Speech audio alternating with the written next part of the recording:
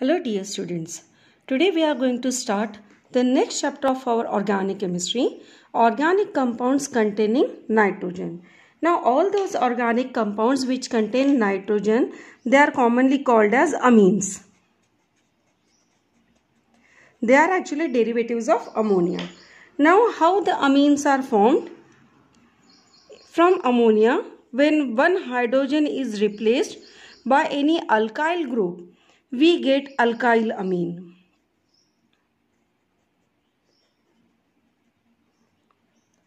Or if we replace hydrogen by aromatic group, then in that case we get aryl amine. So we can say the amines are derivatives of ammonia. Now let us discuss what is the structure of ammonia. When we compare the structure of ammonia, we know ammonia has one lone pair and three bond pair. In this, nitrogen is sp3 hybridized. This is from our basic knowledge we know and the bond angle being 107 degree. Now we have seen in amines, one of the group will be replaced by alkyl group.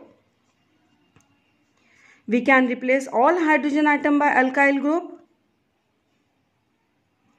Now this will be amine but the bond angle increases to 108 degree but there will be no impact on hybridization state of nitrogen. It will remain sp3 hybridized only. This will also contain one lone pair and three bond pair but the bond angle is increased. Why? Because of steric hindrance of three bulky alkyl group.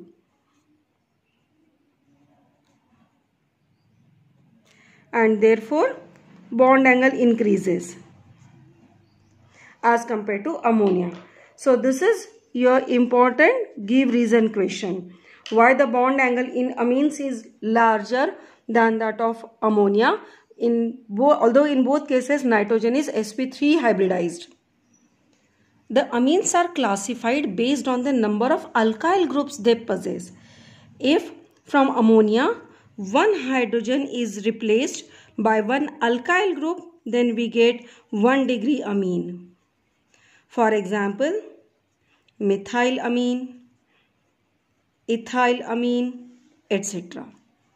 But if we replace two hydrogen atom by two alkyl group, then we get 2 degree amine. For example, dimethylamine, diethylamine and so on. But all three hydrogen atom, if they are replaced by three alkyl group, then we get 3 degree amine. For example, trimethylamine, triethylamine, etc. So amines can be classified into 1 degree, 2 degree and 3 degree amine. In this also, specially in case of 2 degree and 3 degree amines,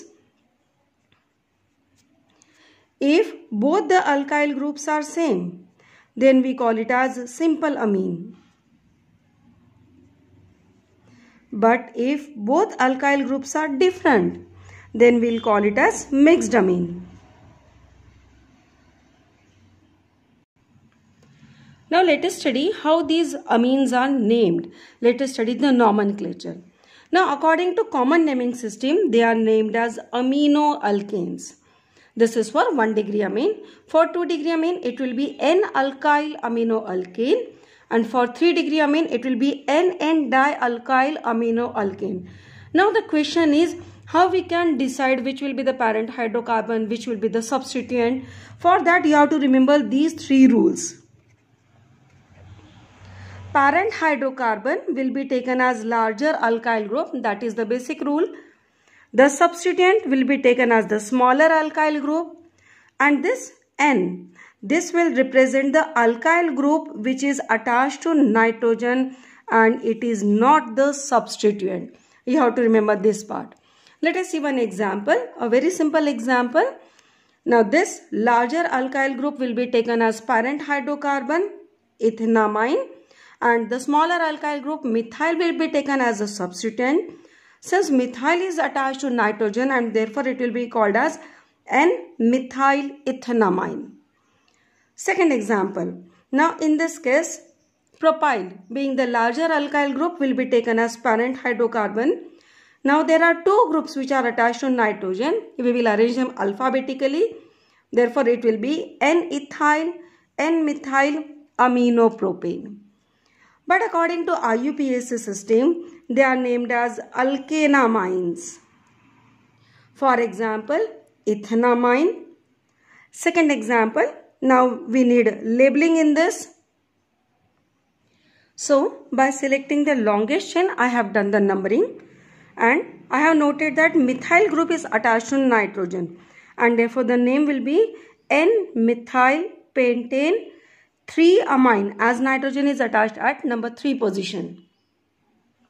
Moving on to next example. In this one, labeling, sorry, numbering 1, 2, 3. So this will be 2-methyl propane 2-amine. In the next example, the longest chain will be taken as parent hydrocarbon. So this will be butane. Methyl group is attached to nitrogen. Therefore it will be N-methyl butane 2-amine. For aromatic amines, we take this as the basic amine called as benzenamine. Although benzenamine is its IUPAC name, the most commonly used name is aniline and we are using that. Both these answers will be correct. Now from aniline, if one hydrogen is replaced by one methyl group, it will be N-methyl benzenamine or you can write N-methyl aniline also. Now both hydrogen from aniline, if they are replaced by methyl, then it will be N-N-dimethyl benzenamine or N-N-dimethyl aniline. Now suppose two alkyl groups are different in aniline, then it will be arranged alphabetically and therefore it will be N-ethyl, N-methyl aniline. Remember N word represents the group which is attached with nitrogen. This will be N-ethyl aniline. Now when one more substituent is present in basic aniline then the numbering and therefore the name becomes 4-methyl aniline and the most commonly used is para-toluidine. Para-toluidine is used in word problems and the student they forget the structure and therefore you can remember this also 4-methyl aniline. Now suppose hydrogen atom is replaced by phenyl group in aniline then we can name it as N-phenyl benzenamine or we can name it as N-phenyl aniline or the commonly used name is diphenylamine. So that was about the nomenclature of amines. Let us study the preparation method for amines. The very first and the basic is reduction of nitro compound. This method is applicable for both alkyl and aromatic amine. Any alkyl nitro compound can be reduced by using lithium aluminum hydride to corresponding amine. Now instead of lithium aluminum hydride we can use hydrogen in presence of palladium or we can use hydrogen with Raney nickel etc. For example nitroethane when it is reduced using lithium aluminum hydride we get ethanamine with loss of two water molecule. By using this method, we can prepare aromatic amines also. For example, nitrobenzene can be reduced by using hydrogen in presence of palladium, ethanolic palladium and we can get aniline. Now, instead of hydrogen, palladium and ethanol, we can also use tin HCl or iron HCl also for the reduction. and we'll get aniline. Now this method by using iron scrap and HCl, this is the best method for the preparation of aromatic amine. Overall, I will say reduction of nitro compounds is the best method especially for the preparation of aromatic amine. Now, why using iron scrap is a preferred method? Because in this process, FeCl2 is formed. And this FeCl2 can be again used to get ferric hydroxide and HCl. Now this HCl will can be used again. All those reaction in which the byproduct can be used again, those reaction becomes commercially very important one. And therefore I said this is the best method for the preparation of aromatic amines. Second method for the preparation of amines is by ammonolysis of alkyl halide also called as Hofmann ammonolysis. This we have already studied in our chapter haloalkanes and haloarenes under the heading ammonolysis of alkyl halides. From there, we know these two basic things that the reaction proceeds by SN2 mechanism and it's a nucleophilic addition reaction. Any alkyl halide, when it is treated with ammonia at 373 Kelvin, first of all it gives substituted ammonium salt and that on further treatment with ammonia, first of all gives 1 degree aliphatic amine along with quaternary ammonium salt. But the reaction proceeds. To explain how the reaction proceeds, I will explain you the mechanism. The reaction becomes much more easier to remember if you learn its mechanism. Now we'll start from the first step. In ammonia, there is a lone pair. Now this lone pair shifts to alkyl group and the halide bond breaks and therefore we get first of all ammonium salt. The reaction proceeds. Sorry there is a cleavage of this RX bond and again we get substituted ammonium salt and then we get 2 degree amine. Still the reaction continues. Cleavage of alkyl halide further takes place at 373 Kelvin giving us 3 degree alkyl amine. Still the reaction continues with the cleavage of alkyl halide bond to give quaternary ammonium salt.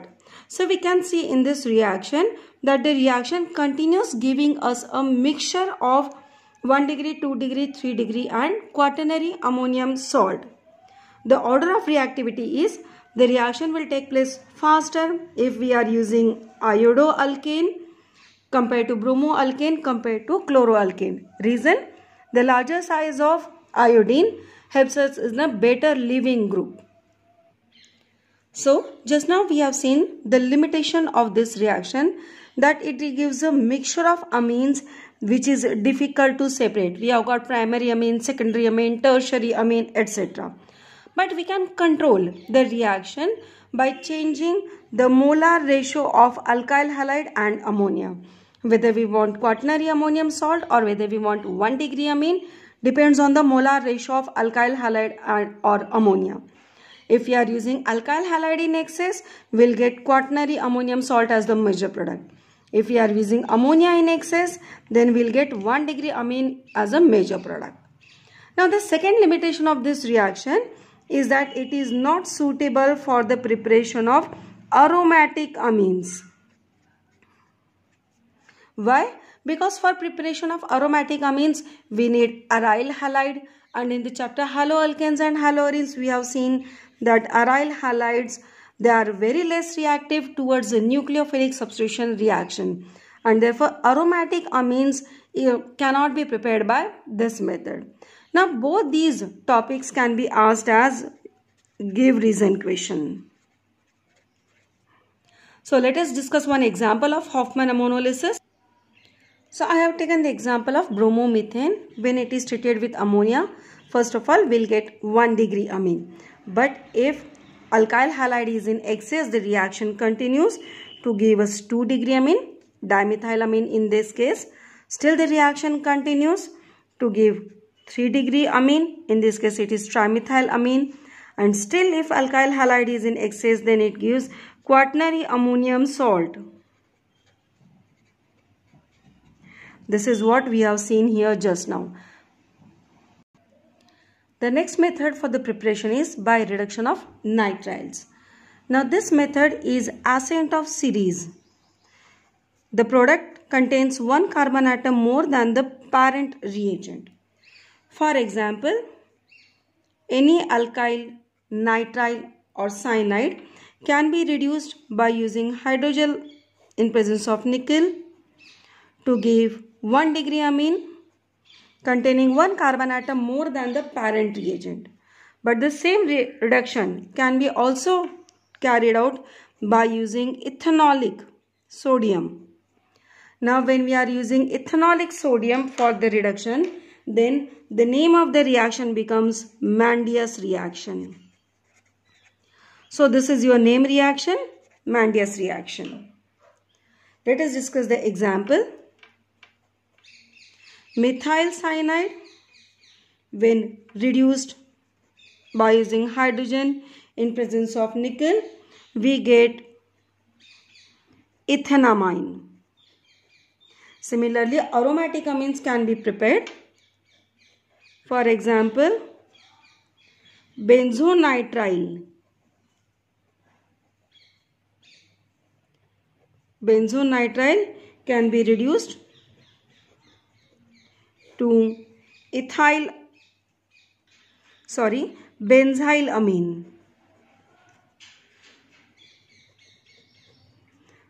so a simple reduction method next reduction method is by the reduction of amides. In this the product will contain the same number of carbon atom as that of the reagent. For example any alkyl amide can be easily reduced by using lithium aluminum hydride followed by hydrolysis gives us 1 degree amine containing same number of carbon atom. Let us have one example. Acetamide on reduction and hydrolysis gives us ethanamine.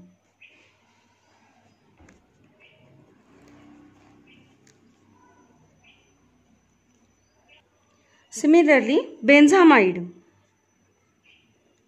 can be reduced. I hope you must have guessed the product. It gives us benzyl amine. So this is benzyl amine. So what is the difference between these two methods? In this method, the product contain one carbon atom more whereas by reduction of amides we get amines containing the same number of carbon atom. The next method is Gabriel phthalimide synthesis. Now this phthalimide we have already discussed in the topic carboxylic acid. This is the structure of phthalimide which is the derivative of phthalic acid. Now when it is treated with potassium hydroxide alcoholic, potassium hydroxide act as a strong nucleophile this is a minus charge okay and therefore the cleavage occurs and we get a potassium salt. This will be cleaved we get a potassium salt. Now when this is treated with alkyl halide alkyl halide being polar again this cleavage will occur. Alkyl group will attack on the nitrogen giving alkyl substituted derivative. Its further hydrolysis gives us 1 degree amine. I will say the cleavage occurs here. ONA part attacks on the phthalimide part giving us disodium phthalate. Now why this reaction is considered as important? Because this disodium phthalate can be further hydrolyzed to give phthalic acid. Now phthalic acid can be used again to make phthalimide. So just now I have told you that all those reaction where the byproduct can be used again becomes commercially important reaction and that's why Gabriel phthalimide synthesis is one of the important reaction Overall, this topic I will mark it as important. Straightforward name reaction can be asked. Complete the equation can be asked. Sequence can be asked. As well as give reason questions can be asked based on these two headings. So what is the advantage of Gabriel phthalimide synthesis? Just now we have seen it gives us pure 1 degree amine. Like we have seen in our last topics, sometimes we get mixture of amines but here we get pure 1 degree amine. And second one we have seen that phthalic acid can be used again. But at the same time it has disadvantages also. It is applicable only for 1 degree amine. We cannot prepare 2 degree or 3 degree amine using this method as well as aniline can't be prepared. Why? For preparing aniline, okay, we'll start with phthalimide, but here we will require aryl halide instead of alkyl halide. And we know aryl halide do not undergo nucleophilic substitution reaction. And therefore, the preparation of aniline by this method is not possible. So, give reason question can be asked from these two topics and the reaction can be asked in your board exams. The last method is Hofmann bromamide degradation.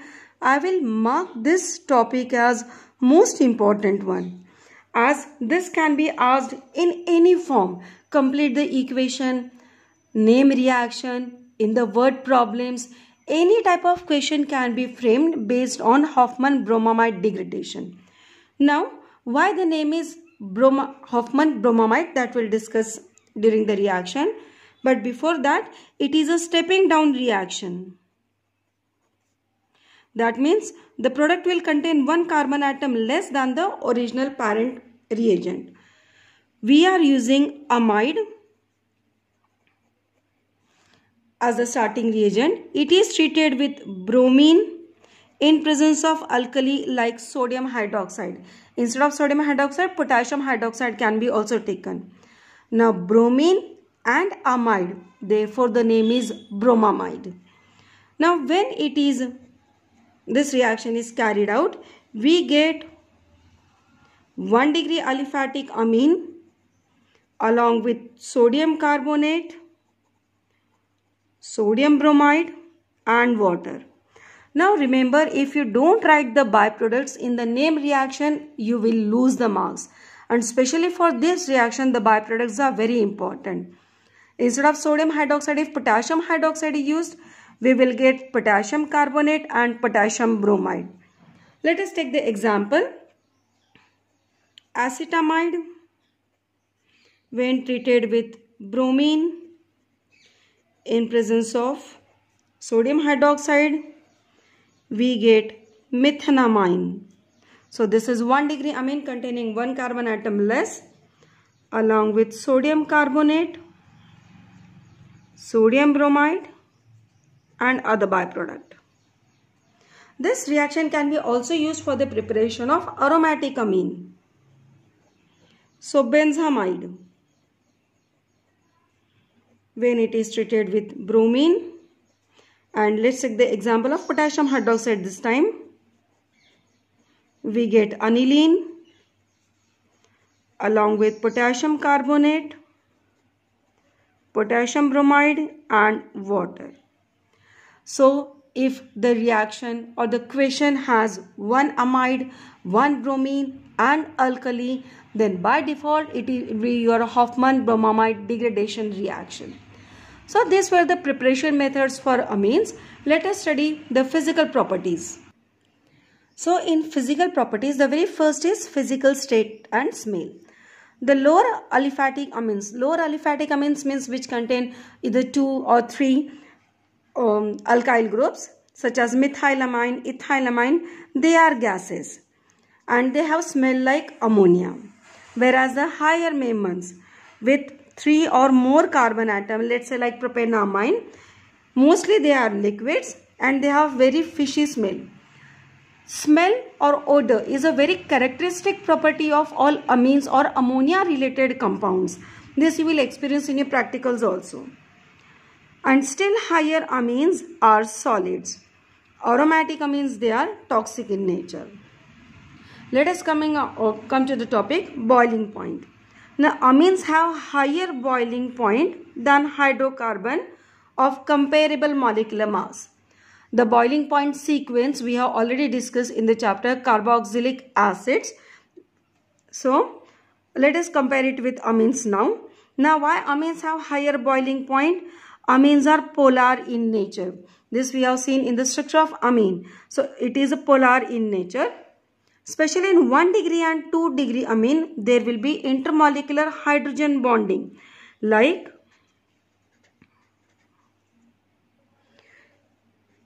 I am taking the example of 2 degree amine. Now here hydrogen bond can be formed. So this will be a very peculiar feature of 1 degree or 2 degree amine that there will be intermolecular hydrogen bonding. As a result, its boiling point will increase. However, amines will have lower boiling point than alcohols. I have given the example of amine, alcohol and acid of comparable molecular mass. Carboxylic acid with molecular mass 46 have 374 Kelvin boiling point whereas the alcohol with the same boiling the same molecular mass has 351 Kelvin boiling point whereas in case of amine with the same molecular mass it will have least boiling point compared in these three example 290 it is because the electronegativity difference between oxygen and nitrogen. Oxygen will be more polar and therefore its polarity will be more. Intermolecular hydrogen bonding will be stronger. So just now we have discussed the comparison of boiling point of amines with other functional group like alcohol and acid. Now let us discuss the comparison of amines themselves that is between 1 degree, 2 degree and 3 degree amine. Just now I have told you 1 degree amines have stronger intermolecular hydrogen bonding than 2 degree and 3 degree whereas amines do not 3 degree amines do not have intermolecular hydrogen bond.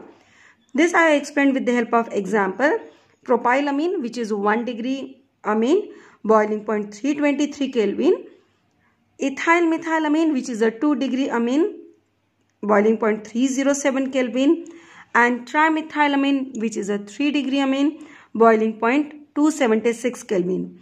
Now all these are functional isomers of each other.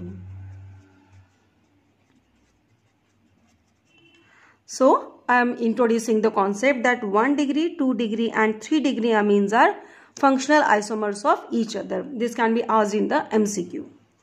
Coming to solubility part. Now since we have seen they can form intermolecular hydrogen bonding, obviously the answer will be amines are water soluble. So lower aliphatic amines are water soluble as they can form hydrogen bond. Hydrogen bond is related to solubility as well as boiling point. Extensive hydrogen bonding, solubility of water will be high. Extensive hydrogen bonding, boiling point will be higher. So I can say hydrogen bonding is directly proportional to boiling point and solubility. But solubility decreases with increase in molar mass of amines.